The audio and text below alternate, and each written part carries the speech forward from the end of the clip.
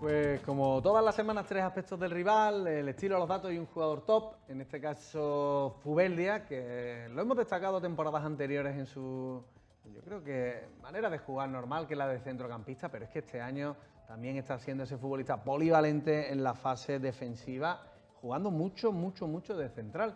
Un futbolista muy polivalente para Imanol, la verdad que permite a la Real Sociedad, aquí traemos esta pequeña infografía con los futbolistas más determinantes, sobre todo de campo, contrario hacia adelante. Eh, es un, equipo con unos futbolistas muy verticales. Oyarzábal, Portu, Isaac, Merino sustentado desde atrás. Pues bueno, pues yo creo que Martín el otro día estuvo muy bien y también Zubelia desde atrás con esa salida muy limpia del esférico.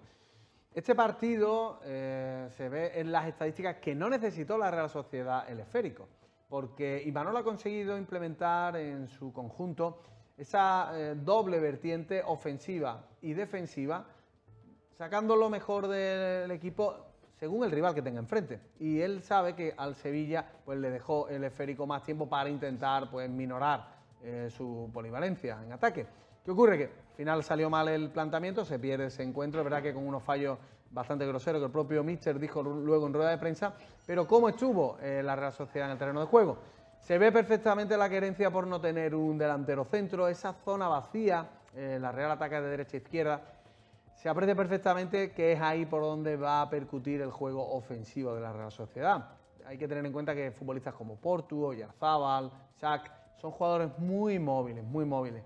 Importante también este dato, es por la banda derecha por donde suele atacar con más profundidad. Ahí tienen a Alex del Girona Portu, jugador muy potente, pero también el lateral Gorsabel, un jugador muy, muy profundo. ¿eh? Hay que estar muy atento en esa manera de jugar porque hoy Andrés Guardado, si al final es el futbolista que está por ahí, debe tener esa concentración. Luego nombres propios, sobre todo Merino, el jugador junto con el resto del campo, pero sobre todo en el centro del campo, yo creo que Merino tiene ese don de recuperar, de crear, de ser polivalente, de llegar a portería rival, de tener también esa verticalidad.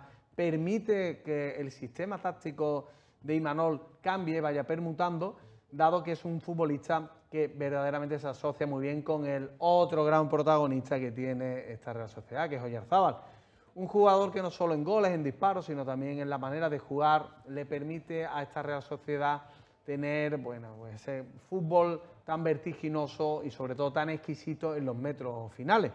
Un jugador además, eh, Oyarzábal, que se entiende muy muy bien en la salida de balón con el protagonista hoy del jugador top, que es Zubeldia, desde la parte central es capaz de conectar con Oyarzábal. Y si somos capaces de que este jugador, Zubeldia, no saque el balón limpiamente desde atrás, y ahí debe estar seguro muy atento Loren Morón, les podemos eh, minar el fútbol creativo, el fútbol asociativo, porque esta Real Sociedad, cuando conecta Zubeldia eh, con Merino y con Oyarzábal, pues es un equipo temible, Isidro. Gracias, compañero.